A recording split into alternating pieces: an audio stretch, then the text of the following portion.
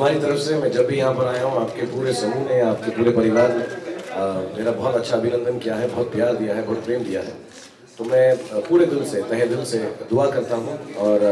जितने भी आप यंग लोग इस पत्रिका में काम कर रहे हैं, मैं चाहूँगा कि आप लोग बहुत बहुत ऊंचाइयों को छुएँ और बहुत अच्छे काम करें। जिस तरह से इस पूरे समूह की, पूरे इस ग्रुप की